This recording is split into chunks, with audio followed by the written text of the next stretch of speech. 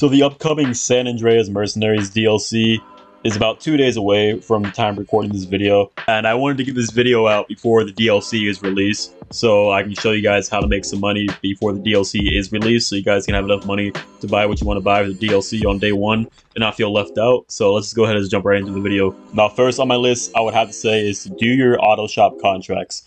Now, auto shop contracts are really fun to do. They have a lot of replay value, and they pay out decent amount of money for the time you spend doing them you make on average $170,000. And if you get the union depository contract, you get $300,000 every 20 minutes, I want to say, doing the two setups in the finale.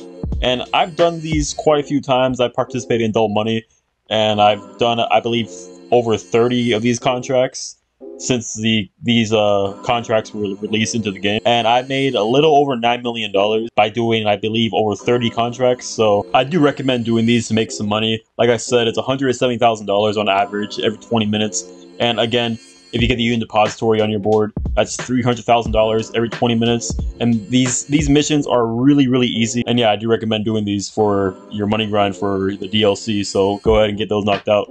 Up next on the list, I would recommend uh, selling your excess uh, goods. If you don't know, if you don't know what this is, if you have a bunker or if you have a uh, cargo warehouse, you get the option at your office and at your bunker to sell excess goods. So, for example, I see here in the footage right here, I'm about to sell some excess goods for my warehouse, and it's only fifty thousand dollars. But this does refresh every 15 minutes both your warehouse and your bunker. They both pay out $50,000. And the missions are super straightforward. You just get into the uh, the sale vehicle, and you drive to the destination, you drop it off, get an easy $50,000. And what really works for me is that with a cargo warehouse excess goods is that my warehouse is right next to the docks. So it's not even a mile long drive for me. So I get like $50,000 in the span of like two minutes is doing this one mission. And again, it refreshes every 15 minutes. So keep that in mind when you're doing your heists and your businesses and your contracts. I do recommend doing these for your money grind. Up next on the list, I would say to check your passive income businesses, that being your MC businesses, your bunker, and your nightclub. The reason why I say that is because your nightclub produces no matter what, unless you shut down all the businesses. And with the bunker and the MC businesses, the reason why I say to check on those is because even if you're not buying supplies or doing resupply missions, you could still get supplies by doing the stash house missions. Because when you do the stash house missions, the stash house missions add supplies to your businesses. So for example, if I were to do a stash house right now, I get $20,000 from the stash house. I'll also end up getting supplies for one of my businesses. Be sure to check out your passive income businesses, your MC businesses, or your bunker to make sure you have any product left over. And if you do, go ahead and sell it in, in an invite only lobby. Now, right here, I sold my cocaine business and I had about $200,000 in stock. Unfortunately, I did get the Post OP van. Everybody knows this is the pain in the ass, but thankfully it was only two because it was half stock. The half stock meaning it's like only two vehicles. The only time you're going to get four vehicles in a sale mission is when you're at full stock, but I, I was only at half stock, so it's not really a big deal. And again, I'm an invite only, so I'm not really stressing about my product being destroyed. So I just went ahead and did this mission. I made a, a quick $200,000 in the span of half an hour. Granted, it would have been a lot faster. This is a worst case scenario missions. Everybody know that Post OP missions are really bad for MC businesses. But if you were to get something like the bikes or the helicopters or the planes or the boats, you can make a quick $200,000 in the span of 10 to 15 minutes maybe, if your businesses are not filled up by the way. If you're buying supplies, I recommend just buying supplies until your business is filled up all the way. But if you just get your supplies from stash houses, you may as well just sell it because you did get these supplies for free. So you may as well just sell the product. Even if it's at half stock, I don't think it really matters because like I said, you didn't buy the supplies, you just pretty much stole them from the stash house missions. So yeah, be sure to check out your passive income businesses, like I said, your MC businesses, your bunker, your nightclub. Up next on the list, I would have to say to sell your acid lab. Now, the reason why I didn't include this with the passive income is because I think you should sell your acid lab at least once a day when you play GTA Online. It takes about two hours for your supplies to fill up all the way.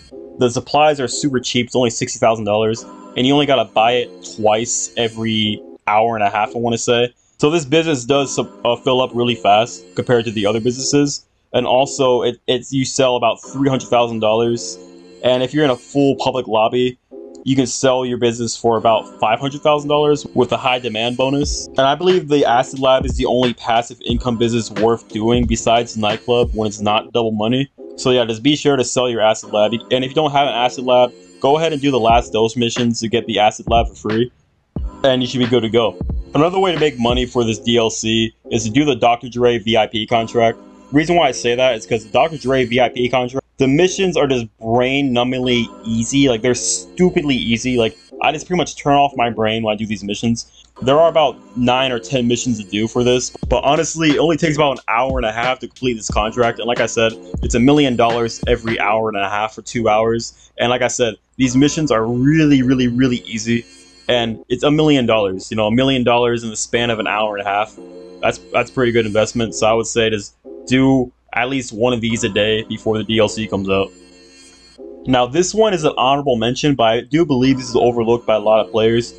I would say to check your saves. When's the last time you went to your arcade or your agency to check your saves? You probably don't remember. So as you can see right here, I'm entering my arcade to collect the money from the safe. And when the safe is full, it pays out $100,000. And same with the agency.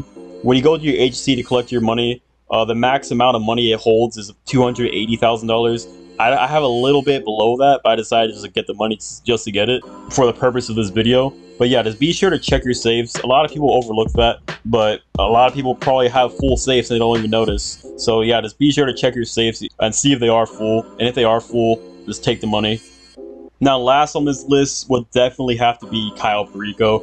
This is pretty obvious. This has been the best way to make money at Grand Theft Auto Online, legitimately, for the past two years. This heist is super, super easy. If you guys don't know how to do the heist, just look up a guide on YouTube. It's just super, super easy. In the span of 40 minutes to an hour, you're making on average $1.5 million. Now, unfortunately, you can't do this every hour since the nerf. You gotta wait three hours to do it solo. And with other players, you have to wait 40 minutes to do it. But this is the best way to make money in GTA Online. But if you combine everything else I stated in this video, plus Cayo Perico, you should have a lot of money left over for this DLC. So while your passive businesses are producing product, I recommend doing Cayo Perico. And then when Cayo Perico's cooling down, either sell your businesses or do some auto shop contracts or do the agency contracts. Honestly, I don't think anything in this game tops Cayo Perico when it comes to making money. Now, if you guys did go enjoy this video, like and a comment will be appreciated. Subscribe new to the channel. And yeah, with all that out of the way, I'll see you guys in the next video. Take care, everybody.